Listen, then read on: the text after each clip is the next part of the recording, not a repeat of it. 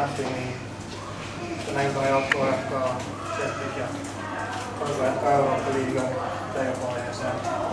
Antti ihan vapaasti miettiä pelistä.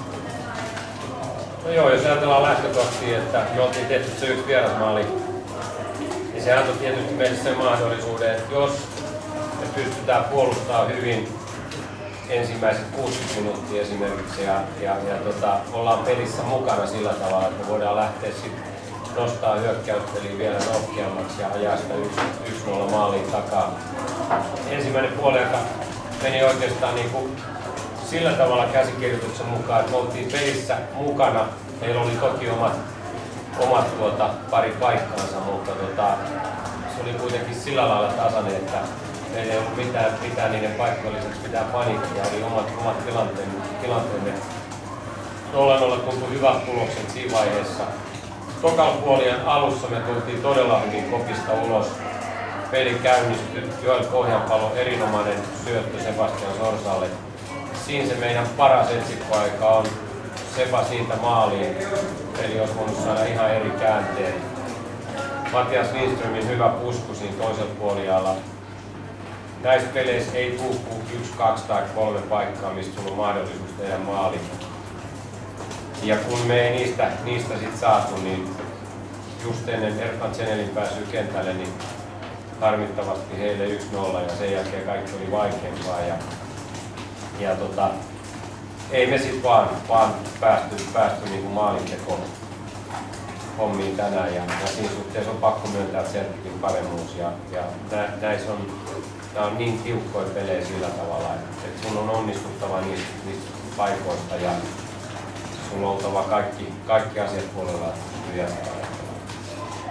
0-1 on varmasti jotain käännekohta. Mitä itse näet sen?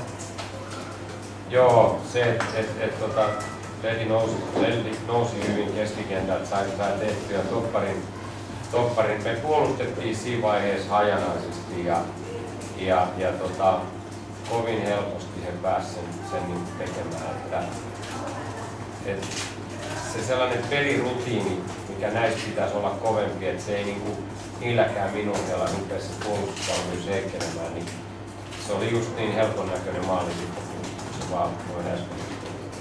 Poikakausi pitkään ja korkeudesta ottelu hyvin tasaisesti Celticin kanssa. Ja vaikka pettyneitä miehiä tuolla kopissa, niin elämä jatkuu hoitoon jatkaa tästä Eurooppa-liigaa. Osaatko jo tässä vaiheessa sanoa jotain siitä?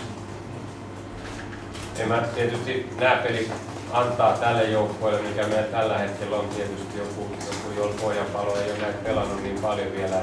Jokainen peli näitä pelejä varmasti niin kuin valmistaa pelaajaa sitten taas niihin tuleviin koviin koitoksiin. Se on, se on aina se yksi lisä näistä. Se tietysti, että nämä pelaajille myöskin näyttötilaisuuksia, jotka näissä onnistuu, niin noin isot seurat skauttaa aina tietysti. Eurooppa-liigan karsinnassa jatketaan, se arvonta on perjantaina. Vanhat verkit pitää paikkansa, niin siellä ei ihan helppoa joukkueet enää ole. Varmasti kova vastus on taas, taas Kiitos. Kysymyksiä päävalmentajalle? Should I ask the coach? Do you think the result was fair? Oliko sun mielestä Any complaints? reilu tulos? Joo, ehdottomasti sit kuitenkin pitää todeta, että teki meille kaksi maalia molemmissa otteluissa ja, ja tota, parempi joukkue. Yes, I must admit that uh, Chelsea was a better team in uh, both of the games, scoring two goals. Hyvä. Kysymyksiä? Mitäs Pohjanpalo tota, pelasi avausottelun, tai a- ensimmäisen pelin avauksessa, niin miten hän onnistui mielessä?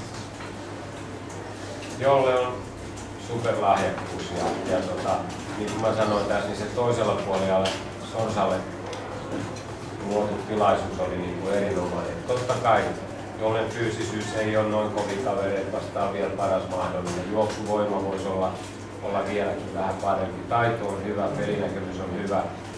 Muutamia tilanteita hän tulee todella hyvin pelattavaksi. Todella hyvästä lupauksesta.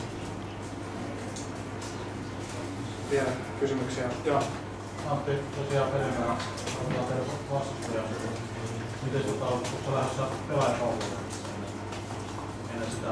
No, ei Sakari Mattilahan todennäköisesti on, se meidän kauppa. Et ei, ei nyt ainakaan puhuttu eikä, eikä olla myöskään.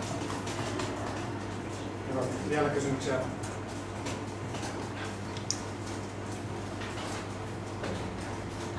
Ei enää, niin kiitoksia. Kiitos.